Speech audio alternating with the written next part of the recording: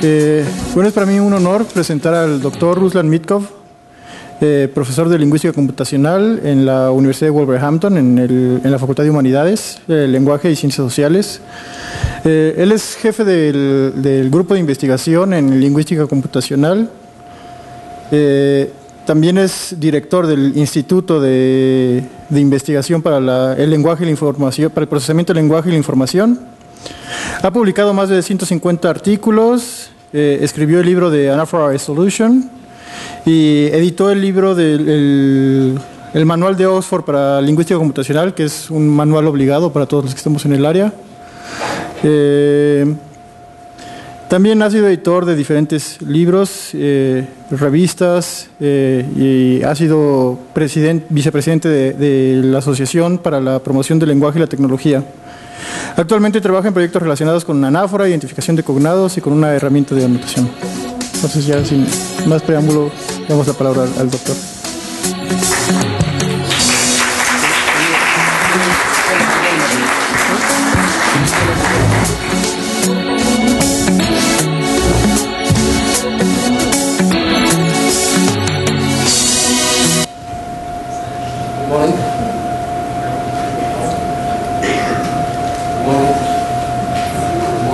Can you hear me? It's my pleasure to be here with you, and I'm sorry for the technical problems that we had. Finally, we have resolved them. So I know that I have 40 minutes only, right? So I may need to skip part of my presentation, but I'm going to speak about the com comparable corpora and to what extent they can help different applications. I'm going to discuss NLP applications, but not only NLP applications. So this is the, um, this is the structure of my presentation. Obviously, I may have to uh, skip some of the slides because I have, I don't know how many I have, maybe more than 100.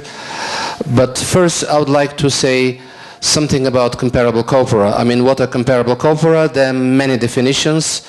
Well, you can look at those apples and see that you can decide whether they're comparable or not. But uh, some of the definitions, I'm going to skip those definitions, but just to say that Biber opened the field showing how corpus counts could be used for the systematic study of contrast between language varieties. So comparable corpora were first introduced to address this need. And one definition that I use is by Tony McEnery. Corpora where a series of monolingual corpora are collected for a range of languages, preferably using the same sampling frame, and with a similar balance and representativeness to enable the study of those languages in contrast. So imagine corpora which are not only of uh, comparable size, but have to be also um, comparably representative, discussing similar topics, and something important that some of our colleagues do not take into account, that they have to be reflecting the same time period, the same time frame. If we have corpora with text from 50 years ago and this year, those are not comparable according to the classical definitions. So the sampling frame, this is why, is quite essential and uh, this should involve uh, genre, domain and sampling period. Uh, Kilgarriff was somebody who also worked on comparable corpora and uh, has some a few projects. He uh, regards the issue of comparability on a more surface level. He basically considers uh, comparability and similarity as more or less synonymous. There are other definitions by Pascale Fung who looks at parallel corpora, noisy parallel corpora, comparable corpora, and quasi-comparable corpora. In doing so, she somehow draws a line uh, between the um, similarities and differences between comparable and parallel corpora. Uh, Sharoff has another definition, but I I would like to move on, and if somebody wants to have a look at this presentation, I'll be ha very happy to share it with you, because um, I want to show you more about what we have done with comparable corpora. And just to be quite uh, simple in terms of our terminology, we can also say strictly comparable corpora and loosely comparable corpora. So ideally, parallel corpora should be the ones to be used in different multilingual applications. And this is normal because if you do machine translation, if you do term extraction, if you do things which have to do with translation equivalence, the best would be to be able to use parallel uh, corpora and then align them at sentence level, if possible, at word level, which is more difficult, but this is the ideal scenario. But the problem is that we cannot find parallel corpora very easily. Why? Because they may not be available for every domain. Uh, they are also more time consuming to develop. Uh, translation memories could be proprietary and expensive. And uh, given that parallel corpora are available only in, in some limited, uh, uh, to some limited extent, one way forward would be to go for comparable corpora which are more easy to compile by the user.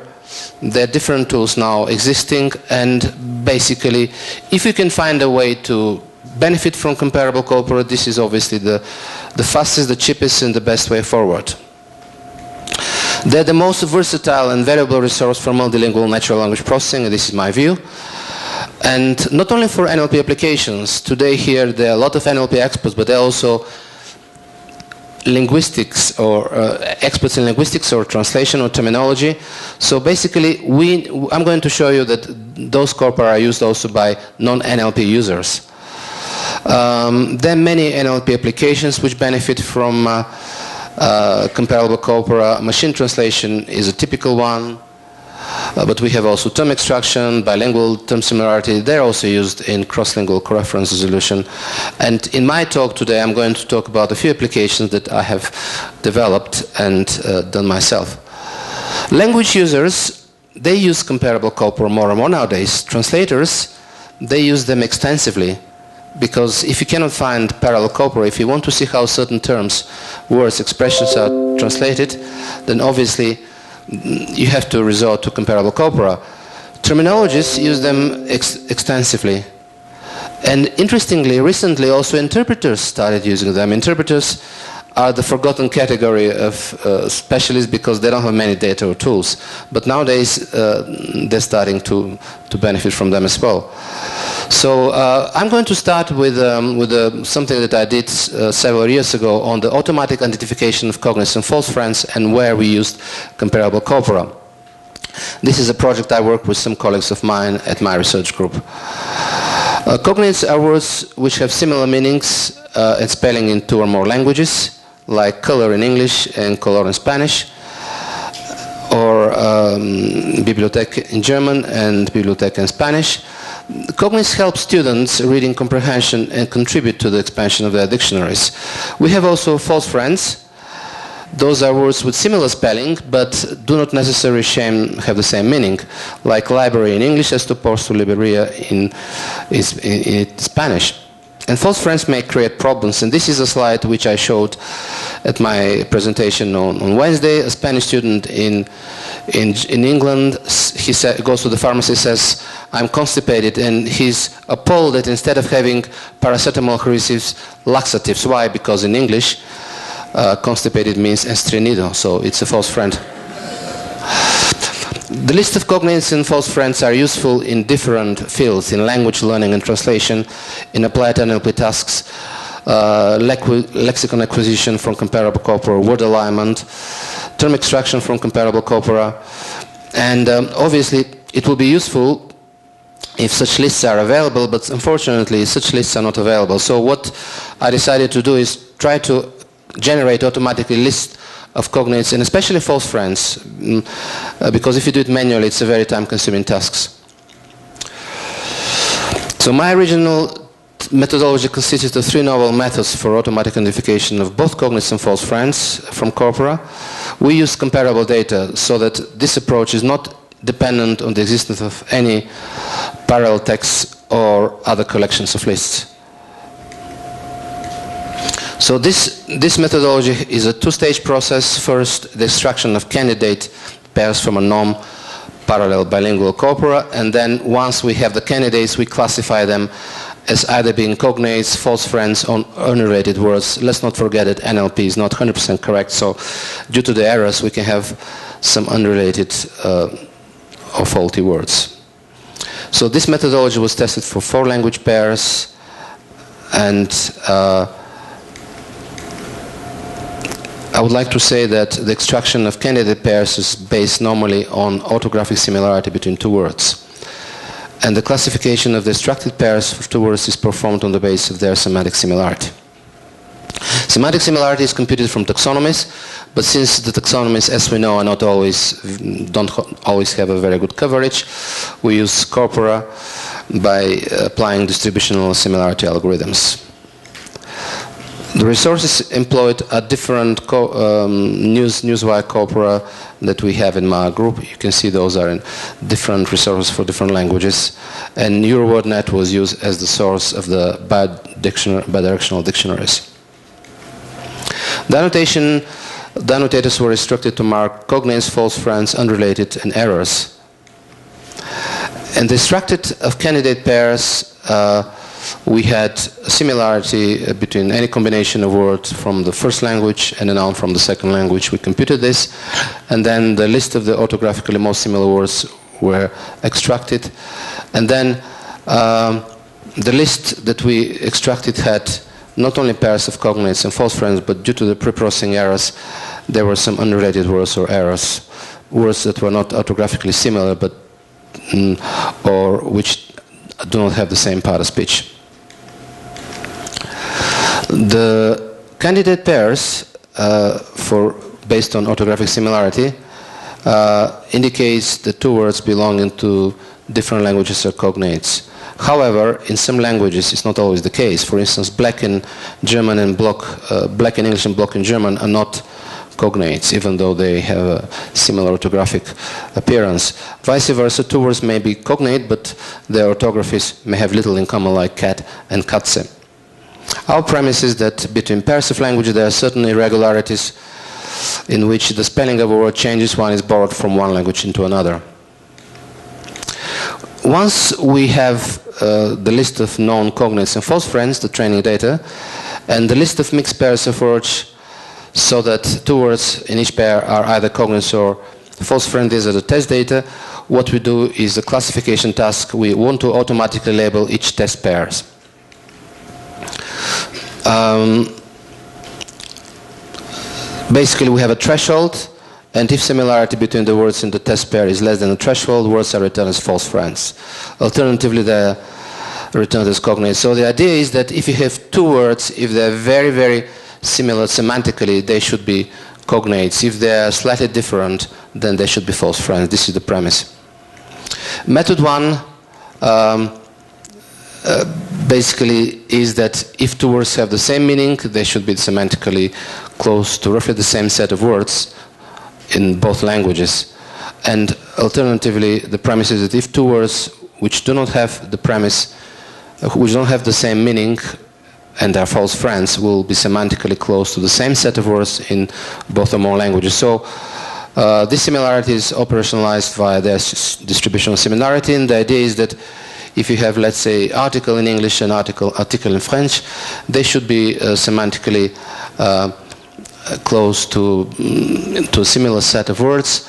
And we used uh, for every two words. We calculate the n most similar words uh, according to skew divergence and also dice coefficient function is applied to sets to in the case of set similarity because we're looking here at sets. Method 2 is inspired by methods for acquisition of translation lexicon from comparable corpora and we look at the context of words in terms of noun verb pairs collocates. So um, for method one, we use taxonomies. Uh, for any two words present in a taxonomy is checked, and if present, the semantic similarity measure is employed to compute that similarity. Otherwise, uh, distributional measures are made use of to obtain a list of the nearest neighbors for every word.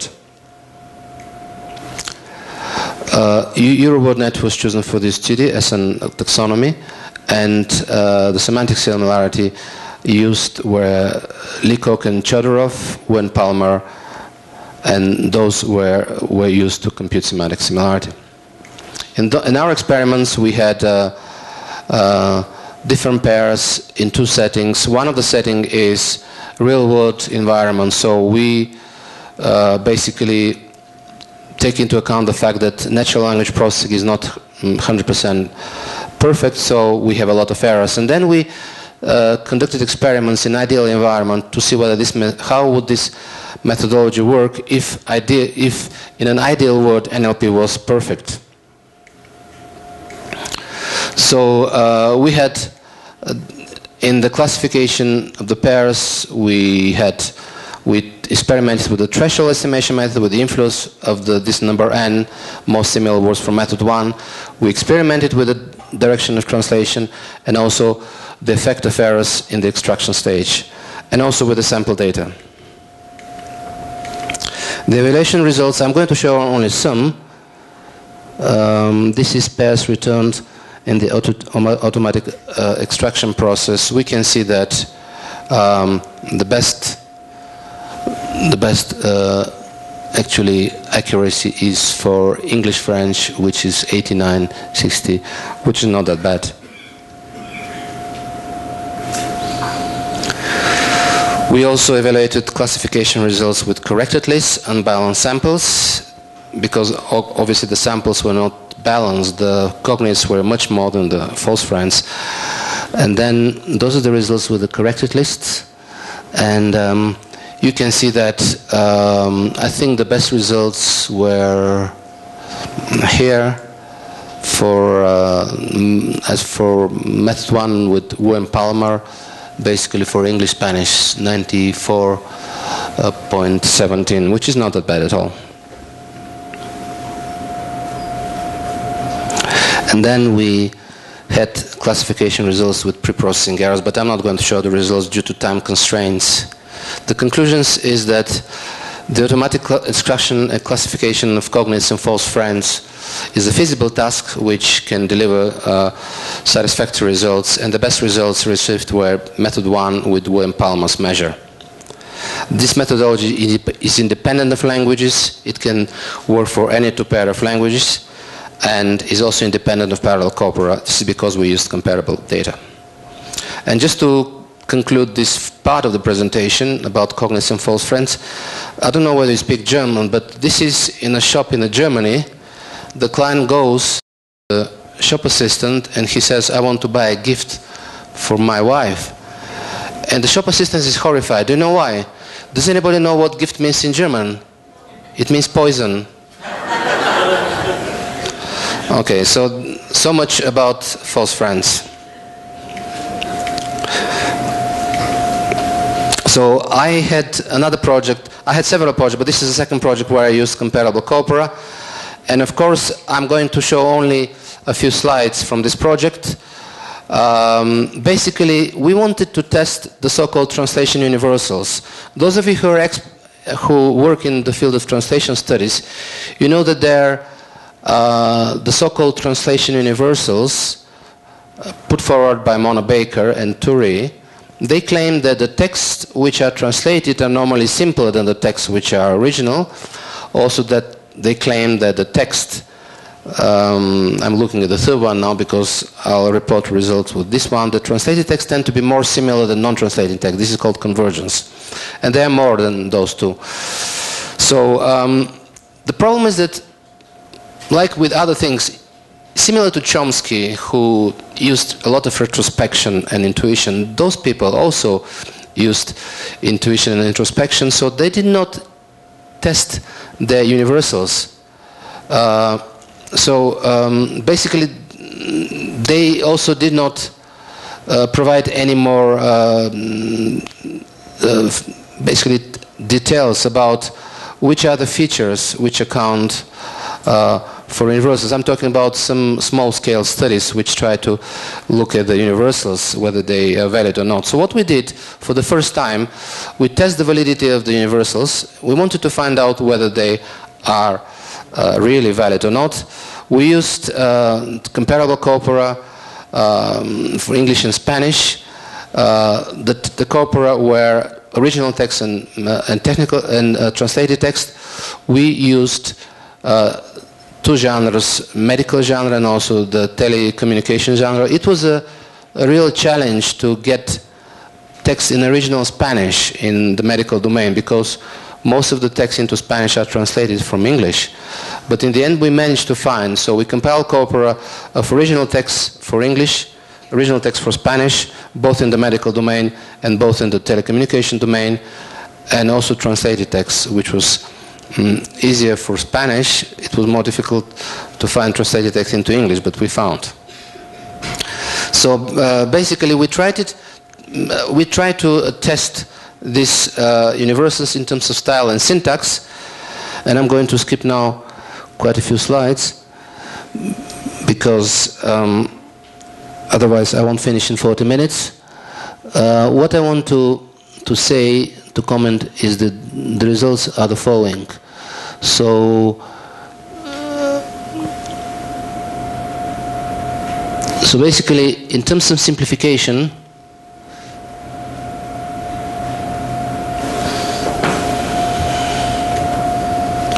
uh, in terms of simplification, it's a mixed picture. Simplification is confirmed on part of the on, on part of the feature that we looked at, but it's not confirmed on sentence length and proportional of simple sentences.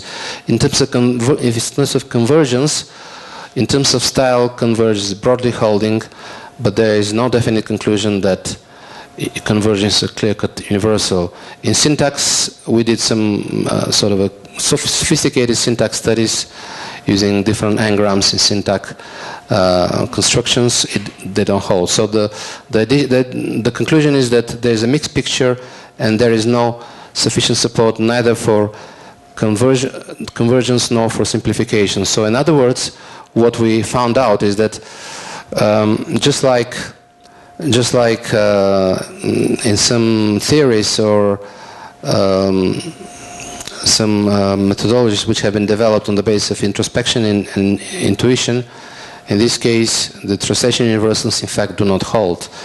Uh, and we managed to test on the basis of the corpora and using different NLP techniques that in fact those are simply made up rules.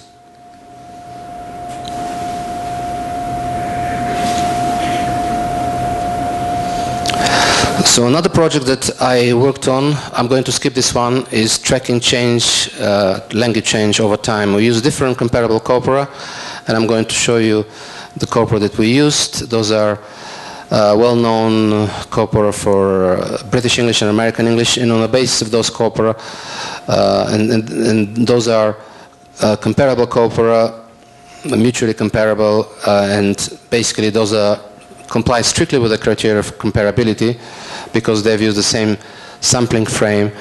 And again, I'm going to skip those slides and I'm going to jump to the conclusions uh, of this study and uh, the conclusions that we have.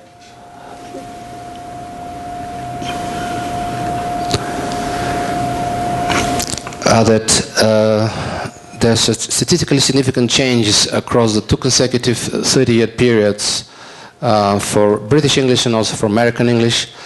And um, we found that the different genres uh, follow different trends. Uh, and uh, the, the, the trends were not the same for each genre. So we found that uh, for fiction, for instance, genres where all features underwent significant changes in both periods, they demonstrated opposite directions of changes in those two periods, uh, and then increasing in 61, 91, and vice versa. In press, however, the features seem to follow the same directions of change in both periods. I'm going to say a, few things now about uh, the extraction and translation of multi-word expressions. This is something that I've been working for the last two years. Um, we have developed, I have developed methodology which can extract uh, multi-word expressions and their translations from comparable corpora. So the way I do it is the following. Multi-word expressions uh, are first extracted, and then once we extract them, we try to find the translation of every, every multi-word expression from the comparable corpora. Um, the idea is that we want to develop a knowledge pool approach for any pair of languages that does not depend on the translation resources. The only information comes from comparable corpora. We don't use any dictionaries, we don't use any bilingual grammars, we don't use any uh, uh, parallel texts. So mm the first proof, proof of concept stage covers English and Spanish and focuses on verb noun expressions such as to take advantage, make sense, prestar atención, o tener razón. So we're looking at those multi-word expressions. We uh, opted for comparable corpora because, as I explained, uh, translation memories and parallel data are not readily available, and dictionaries, in fact, cannot keep up with the pace. Uh, very often terms uh, emerge all the time, and often the multi the terms are multi-word expressions. So in this project, we looked also at multi-word terms. We looked, uh, those are the corpora that we use, the British National Corpus for English and the Spanish Web Corpus for Spanish. We extracted the 20 most frequent verbs, and then we use the so-called ACCURAT toolkit developed at the University of Leeds, which uh, automatically compiles uh, comparable data. And we, this is the, these are the documents that we downloaded from the web using the Dictmetric uh, tool of the ACCURAT uh, project. And then we used uh, cosine similarity and we set a threshold, threshold of 0.54 for compa comparability in order to, to extract comparable data.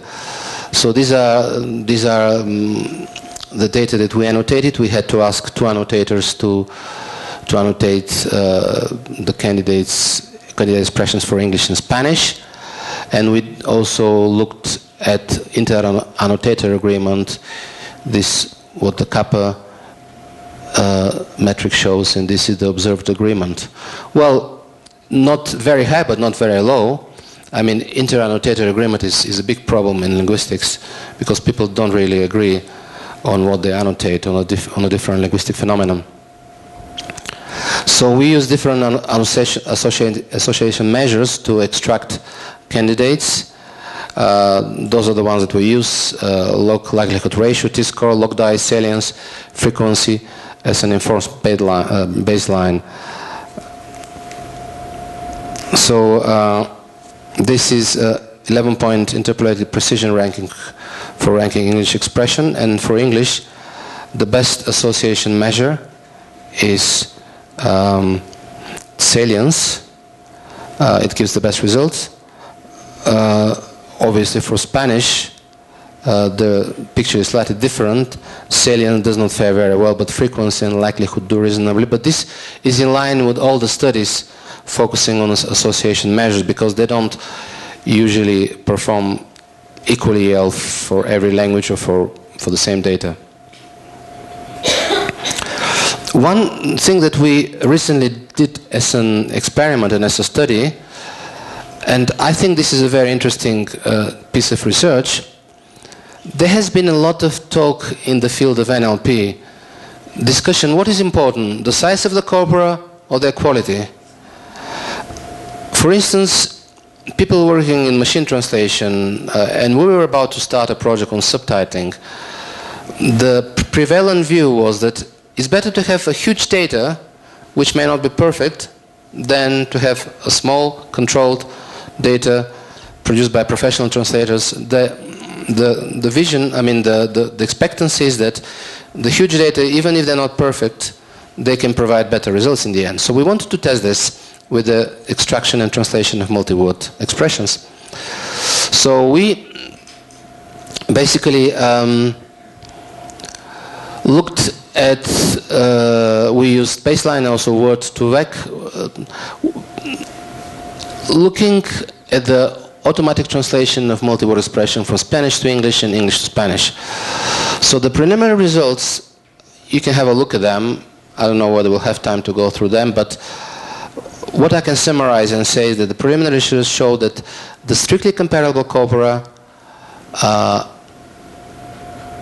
actually, as compared to the loosely comparable corpora, the preliminary results were that even though the data is small, if it's strictly comparable, so this means if the quality of comparability is good, the results are better. So uh, this is what, what the results show. Uh, and then the word to vec based approach is more robust to noise than baseline. And then we said, okay, let's redo the experiments by using more data and let's make them a bit more refined. So those are the latest experiments that we've done, in fact, uh, in July and August. So these are pretty recent results. We have those this limit of comparability 0.2, 0.3, 0.45, 0.6. So if if the limit is 0.6, here we have practically no no figures. Why? Because we don't generate any data. If we go for very very high comparability, possibly we won't be able to generate such data because in the huge corpora that we're using, we cannot find such documents that are so, so close in terms of comparability. Um, at the same time, if we go for a very low limit, obviously the, we have figures everywhere because uh, such data which are loosely comparable can be more easily generated. So looking, uh, you can have a look at the figures, but I'm going to summarize the results now for you. What we found out that the use of comparable corpora of larger size results in fact in better performance, and this can be uh, this can be really seen from the figures uh, on the right columns. However, size of the corpora appears to matter as long as the comparable corpora are of minimal similarity. So once we have corpora which are under the threshold of, of minimal similarity, then the results are poor. So yes, this is what the, what the figures show.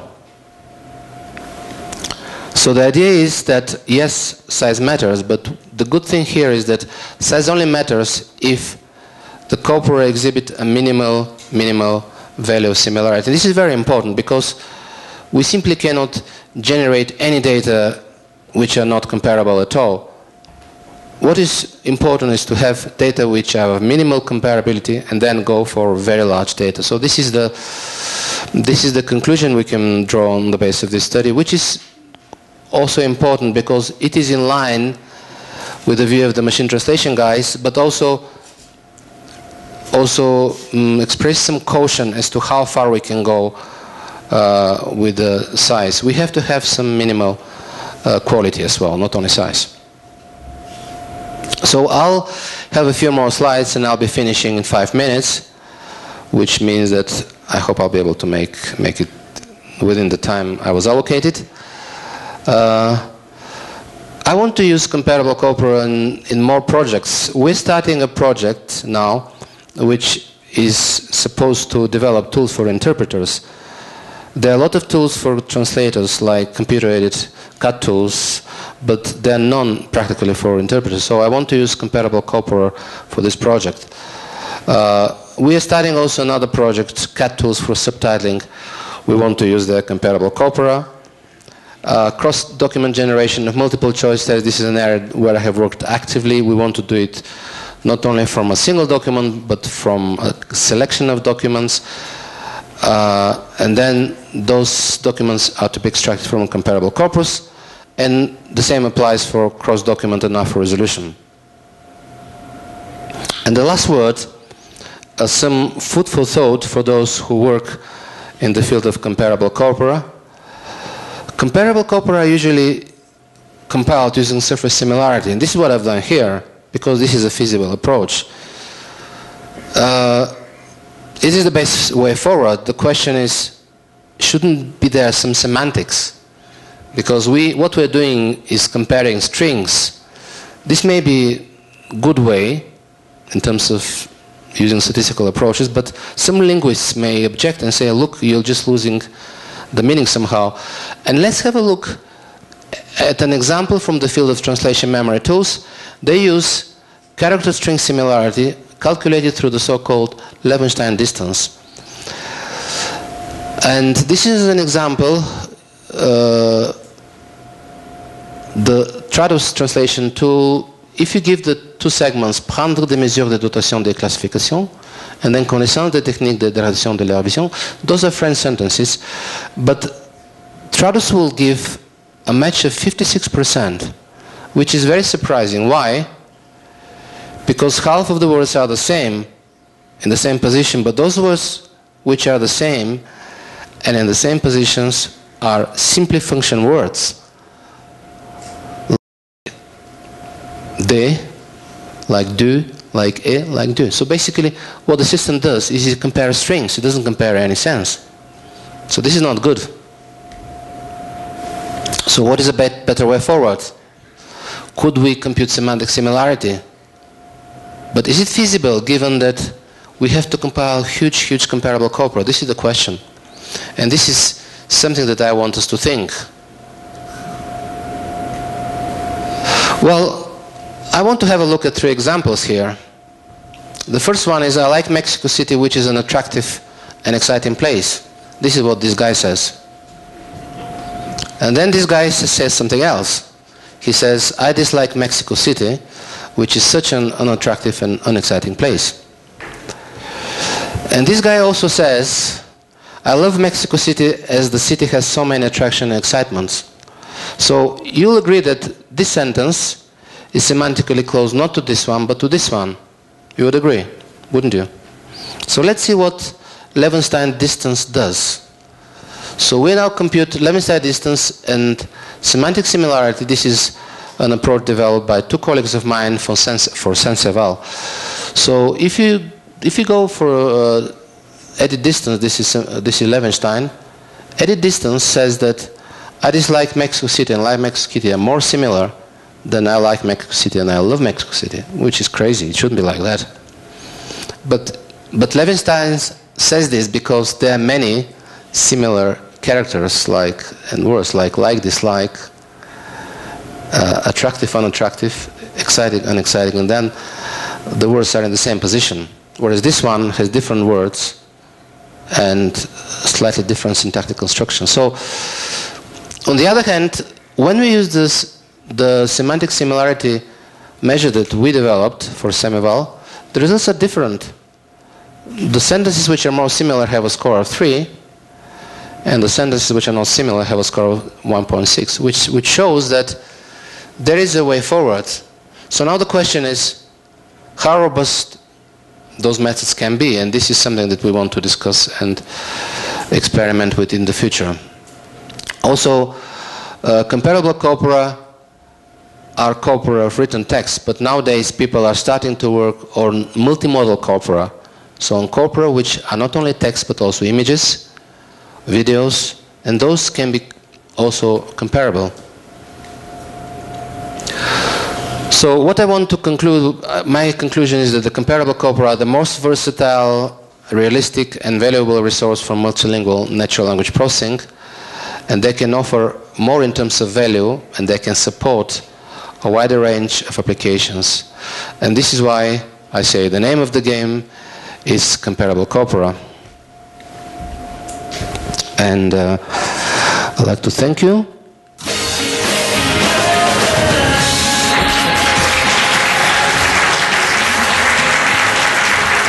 There is one, one more slide. There's one more slide which is once again the name of the presentation. First of all, I would like to thank some of my colleagues at my group who helped me. What's the name of the game? Thank you very much.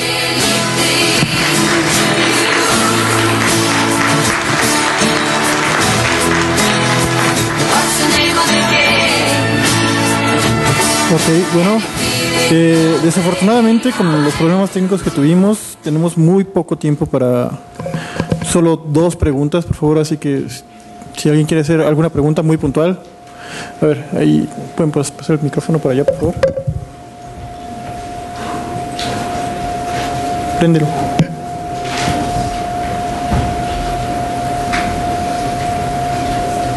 Si gustan pueden preguntar en español, el, el, doctor entiende las preguntas en español, solo que les contestará en inglés. Estoy aprendiendo español. Está apagado. Could you just switch on your microphone, please? Yeah, thank you. Uh, thank you. Uh, what I found most fascinating what they studied on uh, was it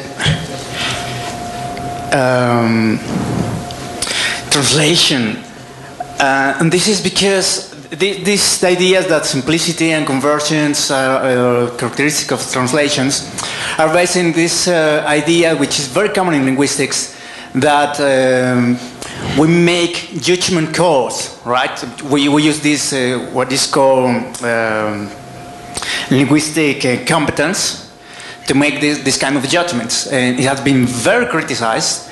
And I, found very, very interesting that uh, your research clearly shows that these um, acceptability judgments uh, somehow are lacking uh, in the sense of um, being a, a, good method of evaluating uh, linguistic data.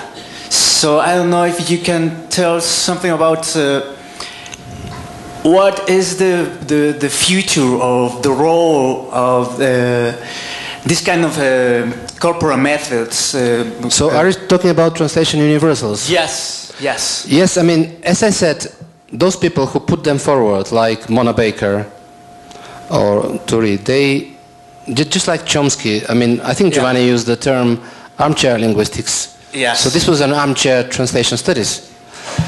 So they did not test them in real data. What we did was to take real data and test them, and they don't hold if they're universal, they must always hold, and we found that in most of the cases they do not hold. Yeah. They hold in some cases, but if they don't hold always, they're not translation universal. So this study has also an interesting impact on NLP and machine translation because if we found out what are the real and the genuine features of translation, then we can incorporate those into a machine translation system which models translation. This is an interesting consideration.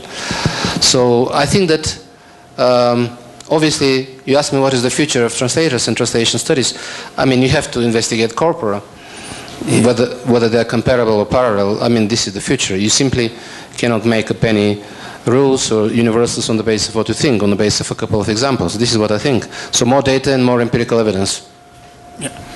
If I may extend a little, just uh, about the similarity criteria mm. used in the last mm-hmm. study. Mm. Um, if you can say something about that, because it's also very, very interesting.